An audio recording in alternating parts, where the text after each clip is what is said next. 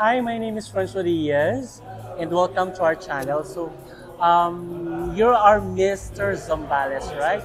Could you introduce yourself, please? Hi everyone, good afternoon. My name is Michael Allan Fortes. I am 31 years old and the eldest Oh. the batch, and I am representing Zambales province. That's really interesting. You mentioned that you are 31 years old, and why it's only now? Uh, actually, before joining my regional pageant, I was very hesitant because of my age, because I'm already 31. But then I took the risk in joining again because for the last time, before I retire from pageantry, I want to try for the last time if, if I can still make it. So this must be this must not be your first time in a pageantry, if I may ask. Actually, this is not my first time. Uh, I've been to other national pageants as well, Mm-hmm. like Mr. Philippines 2016. I joined Mr. Philippines, but then I was not lucky enough to win the title. That's why, for the last time, I really want to try and join again. So why did you choose MIPH as your retiring pageant? You, uh, we all know that Mr. International Philippines is actually the biggest pageant when it comes to male uh, pageantry. So I would like to end my journey in pageantry with the most trusted organization in the Philippines. What are your expectations upon joining the, um, the organization? I mean the pageant, the MIPH. Actually, when it comes to expectations, there's a lot. Actually, I am expecting that I will gain a lot of friends here, that I will gain um, new experiences and new knowledge from different people, from different walks of lives, and from the organization as well.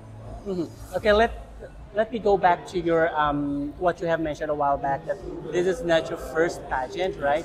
So, um, if you could just um, look back to your previous pageants, what are the lessons or at least your takeaway from that from those uh, pageants that you can make use in your journey right now in MIPH? Actually, when I joined competitions before, I was very young at that time. That's why I am not that serious during that time, though it is my passion.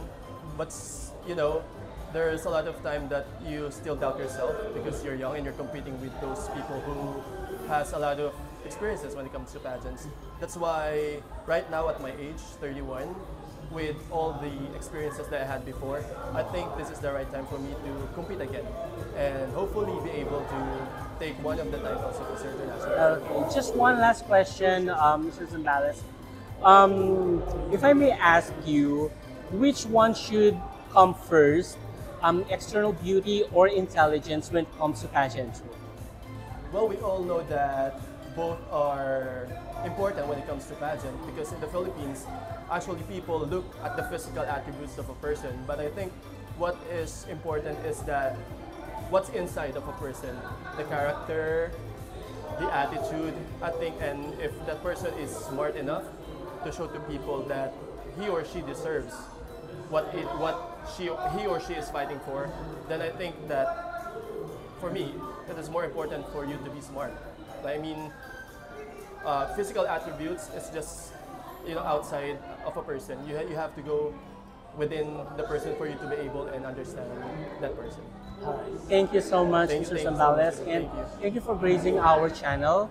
So, good luck and congratulations for making up, making to the um, official uh, candidates of MIPH Thank you, 2020. thank you, thank you, thank you so much. Thank you so much. Thank you, thank you, thanks. Audio Jungle.